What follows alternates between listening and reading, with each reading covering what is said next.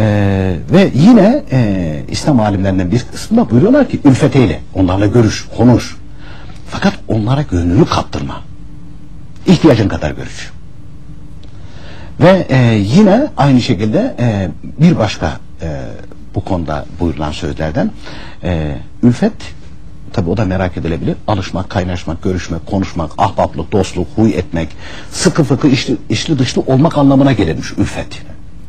E, ünsiyet de alışkanlık, ahbaplık, arkadaşlık anlamlarında kullanılmaktadır kitaplarda. Şimdi bakınız burada birkaç tane İslam alimlerin bildirdikleri bir hususiyeti e, daha doğrusu kaide olarak, kural olarak bildirdiklerini naklettik. Ama bunların ortak olarak bildirdikleri bir şey var. Ortak olarak bildirdikleri bir şey var. Mesela bu sözleri açıklayan, bundan sonra gelen İslam alimleri açıklamışlar. Yani insanlarla ünsiyet kurmak, insanlarla beraber olmak, onlarla hemhal olmak, içli dışlı olmak elbette lazım. Fakat orada bir şey hatırlatıyorlar. Buyur, buyuruyorlar ki haklarını gözetecek kadar dur. Haklarını gözetecek kadar. Fazlası senin için zararlı olur. Niye?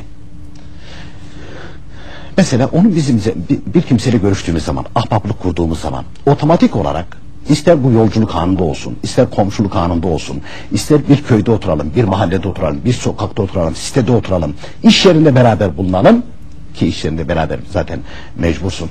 Aynı işi yapacaksın, çoluğun çocuğun nafakasını temin ediyorsun.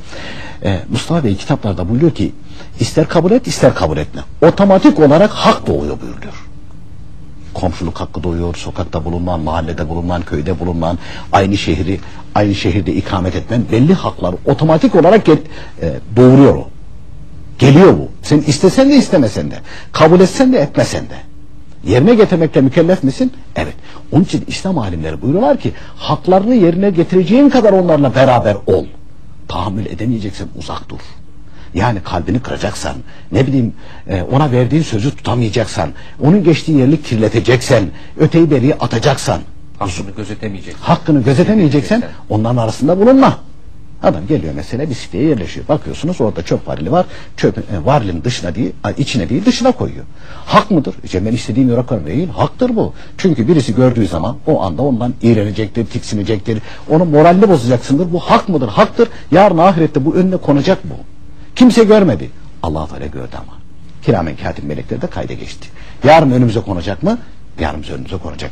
Onun için İslam alimlerinin hani naklettiğimiz o sözlerden ortak çıkan, ortak çıkan haklarını gözetecek kadar. Efendim ben hepsinin hakkına riayet ediyorum. Tamam. Zaten İslamiyet'te insanlardan uzaklaşmak emredilmemiştir. Yaklaşmak, beraber olmak. Zaten Cenab-ı Hak bizi sosyal varlık olarak yaratmıştır. Ve Peygamber Efendimizin Aleyhisselatü Vesselam bir hadis-i şerif var. Cemaatte, toplulukta bir arada bulunmada rahmet var. Ayrılıkta azab-ı ilahi vardır buyuruyor. Dolayısıyla her birimiz bir dağın tepesine gitmeyi emretmemiş dinimiz. Köylerde, şehirlerde, kasabalarda neyse beraberce, müştereken yaşamamızı emretmiştir. Ve Cenab-ı Hak bizim her birimizi bir iş için yaratmıştır. Mesela ben güzel ekmek yapamam ama güzel ekmek yapan var. Ona muhtaç mıyım ben? Evet. Ben başka bir şey yapıyorum. O da bana muhtaç mı? Elbette. Ha bu elbiseyi diken var. Bu ayakkabıyı da yapan var. Bu gömleği yapan, bu kravatı imal eden de var. Bu gözlüğü yapan da var. E bu koltuğu imal eden, bu sehpayı imal eden de var. Dolayısıyla hepimiz birbirimize muhtaç mıyız? Evet. Bunu yapana Cenab-ı Hak bu kabiliyeti vermiş. Bunu yapana bu, o kabiliyeti vermiş. Bunu dikene o kabiliyeti vermiştir. Dolayısıyla biz birbirimize muhtacız. Hepimiz yarımız. Birleştiğimiz zaman bir bütün meydana geliyor. Ama bu birleştiğimiz zaman yani cemiyet olarak, sosyal olarak bir arada yaşadığımız zaman da kul hakkı tahakkuk ediyor. allah Teala buyuruyor ki buna riayet edin. Buna riayet edin. Kul hakkına da hayvan hakkına da. Birbirinizi sevin, ünsiyet edin, tanışın, ahbaplık kurun, uzaklaşmayın. Toplu olarak yaşayın. Çünkü toplulukta rahmet vardır. Ayrılıkta azab ilahi vardır. Buyuruyor Peygamber Efendimiz Aleyhisselatü Vesselam. Toplu bir arada yaşamamızı, beraber olmamızı emrediyor. Fakat İslam alimleri de bunu anlatırken buyuruyor ki, evet Cenab-ı Hak bizi böyle yaratmıştır. Sosyal bir varlıkız. Biz bir yerde toplu olarak yaşayacağız.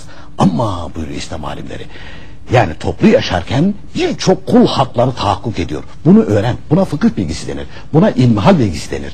Bunu öğrenmeniz lazım ki yarın amel defteri dedikleri de işte böyle bir şey olacak. Önümüze koy verecekler.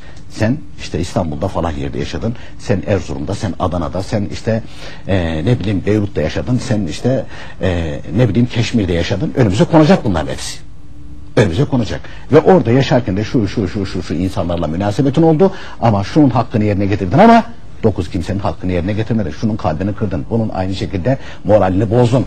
E, ne bileyim sesinle, arabanın sesiyle veyahut da e, oturduğun binadaki yaptığın gürültülerle aşağıdaki hastanı incittin. Çocuğu uykusundan uyandırdın. Neyse. Bu haklar neyse hepsi çıkacak meydana. Hepsi çıkacak. Onun için İslam alimlerinden bazıları bu hakların hepsini ben yerine getiremeyeceğim deyip inzivaya çekilmişler. Yani insanlardan uzaklaşmışlar. Bir, burası bir. Bu bir. İkincisi naklettiklerimizden yani onlarla fazla alaka kurma buyuruyorlar. Tamam onlarla görüş konuş fakat alaka kurma. Onu da açarken buyuruyorlar ki sevilecek sadece Cenab-ı Hak'tır. Ve onun razı olduğu şeylerdir onun mahlukatından gelen herhangi bir iyilik de yine onun vasıtasıyla geliyor. Ama onlarla beraber hem e, hemhal olunca, haşir neşir olunca öyle bir noktaya gelir ki insan artık iyiliği bizzat o insandan bilmeye başlarsın. Hakiki sahibini unutuverirsin. Bu tehlikelidir bu İslam alimleri. İşte beraber olmakta bu tehlike vardır.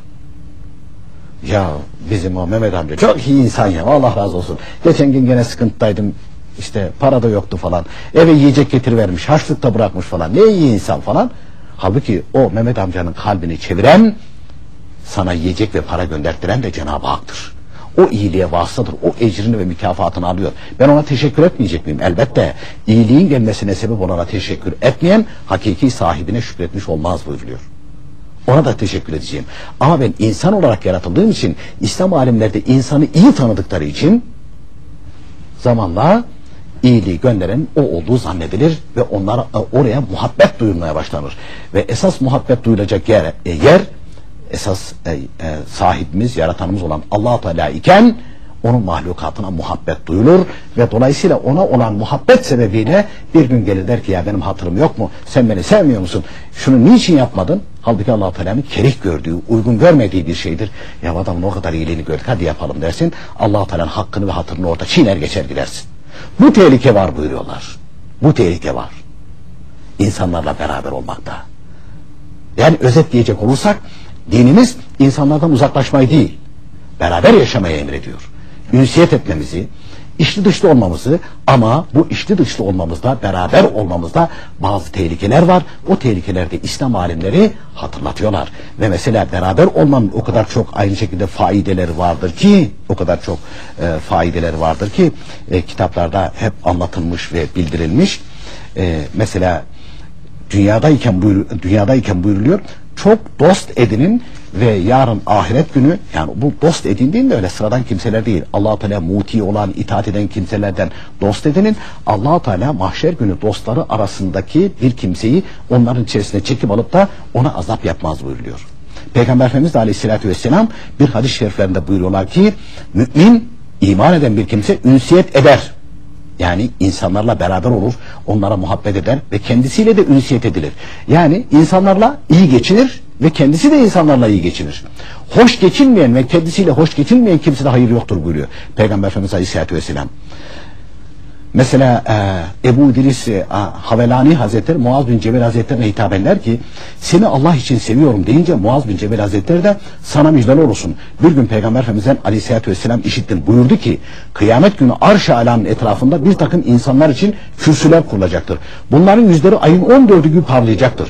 İnsanlar feryat ederken onlar feryat etmez. İnsanlar korkarken onlar korkmaz. Onlar korku ve kederleri olmayan Allah'ın gerçek dostlarıdır diye buyurmuştur. Bunun üzerine Ebu İdris e, e, Havelani Hazretleri bunlar kimlerdir diye sual edince Muaz bin Cebel Hazretleri onlar Allah için birbirini sevenlerdir diye nakletmiş.